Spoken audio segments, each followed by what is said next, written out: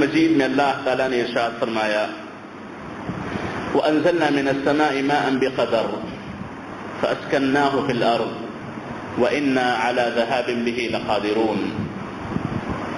کہ ہم نے آسمانوں سے پانیوں کو نازل کیا ہے، ایک مقدار کے ساتھ، ایک اللہ کی تقدیر ہے۔ اللہ نے اپنی حکمت عملی سے پوری حکمت کے ساتھ اللہ نے آسمان سے پانی کو نازل کیا۔ فَأَسْكَنَّاهُ فِي الْأَرْضِ۔ اور اس سرزمین میں ہم نے پانی کو بسا دیا۔ زمین میں پانی موجود ہے۔ زمین میں پانی موجود ہے۔ وَإِنَّا عَلَى ذَهَابٍ بِهِ لَقَادِرُونَ۔ اور اللہ تعالیٰ اس کے بعد کہتے ہیں کہ اس موجود پانی کو غائب کر دینے پر ہم قدرت رکھتے ہیں۔ اس موجود پانی کو غائب کر دینے کی ہماری قدرت ہے۔ ہم چاہیں تو اس موجود پانی کو وہاں سے ہٹا دیں۔ وہاں سے نکال دیں تو معزز حاضرین، اللہ کی نعمتیں جب اللہ تعالیٰ اتنے واضح انداز میں ہم لوگوں کو بیان کرتا ہے، تو ہمیں جتانا چاہتا ہے۔ ہمیں یہ بتانا چاہتا ہے کہ اللہ کی نعمت ہے اور اللہ کی نعمتوں کا استعمال، اللہ کی نعمتوں کا صحیح استعمال یہ اللہ کی شکر گزاری ہے۔ معزز حاضرین آج کل کرناٹکا ہو یا عام طور پر دوسرے مختلف ریاستوں کے جو حالات ہیں، پانی کے نہ ہونے کی وجہ سے، بارش کے نہ ہونے کی وجہ سے، فصلوں کی خرابیاں ہوں، لوگوں کی بربادیاں ہوں، کھیتوں کے خراب ہونے کا مسئلہ ہو، یا اسی طریقے سے مختلف زمینوں جانوروں کے مسائل ہوں، یقیناً یاد رکھیں یہ ہمارے اپنے کرتوت ہیں۔ یہ ہمارے اپنے کرتوت ہیں، ہمارے اپنے گناہ ہیں، ہماری اپنی غلطیاں ہیں۔ شریعت متحرہ پر، کتاب و سنت پر نظر ڈالیں۔ تو بارشوں کے رک جانے، پانیوں کے نہ ہونے کے آزمائش میں مبتلا ہونے کے کئی اسباب ہیں۔ پانیوں میں، پانیوں کے استعمال کے نہ ملنے کے کئی اسباب ہیں۔ ان اسباب میں سے ایک سبب جو میں نے ابھی خطبے میں آپ کے سامنے ذکر کیا، اللہ کی اس نعمت کا غلط استعمال۔ اللہ کی اس نعمت کا غلط استعمال۔ اللہ کی اس نعمت کے غلط استعمال سے پرہیز کریں، بچیں، یاد رکھیں، اللہ تعالیٰ نعمت کو دگنا کر دیتا ہے۔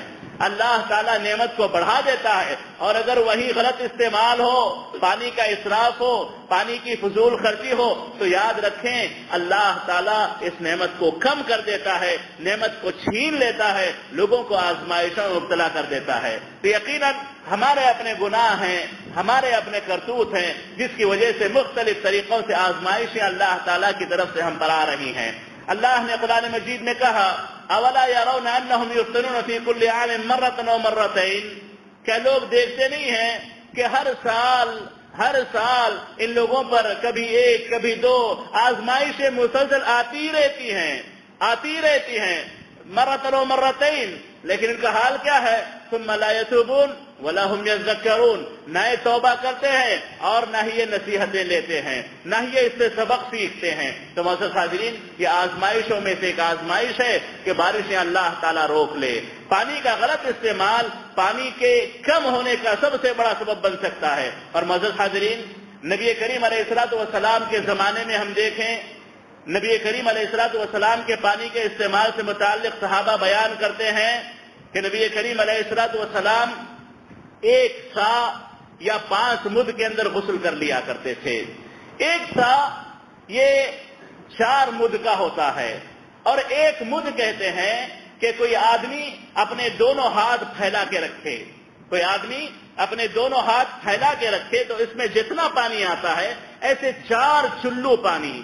ایسے چار چلو پانی سے ایک سا بنتا ہے۔ تو اللہ کے نبی علیہ السلاۃ وسلام پانچ چلوؤں سے غسل کر لیا کرتے تھے۔ ہمارے لیے تصور سے باہر ہے، کیونکہ ہم نے وہ زندگی دیکھی نہیں۔ اللہ کی نعمتیں ہم پر بہت ہیں۔ اللہ نے ہمیں بہت دیا ہے۔ اس زمانے میں اتنا پانی بہت تھا۔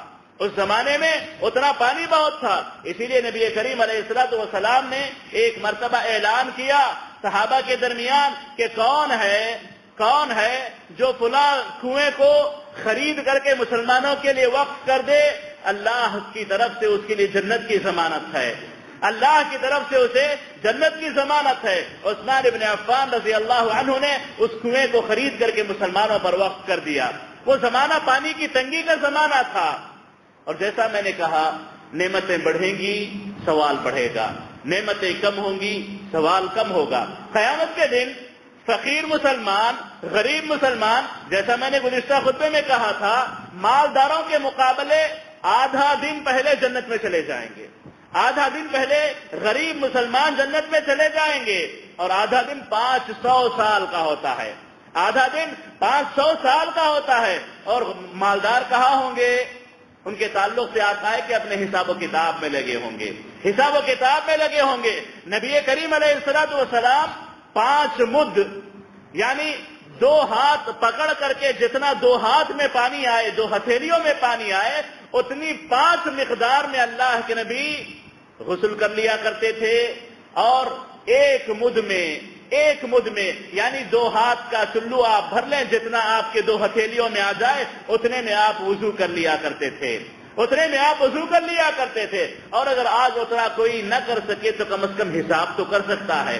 کم از کم احتیاط تو کر سکتا ہے۔ کم از کم وہ یہ سوچ تو سکتا ہے کہ اس نے پانی کتنا استعمال کیا، پانی کا استعمال اس نے کس انداز سے کیا؟ ہاں اللہ نے دیا، استعمال کر لے، جواب بھی دے۔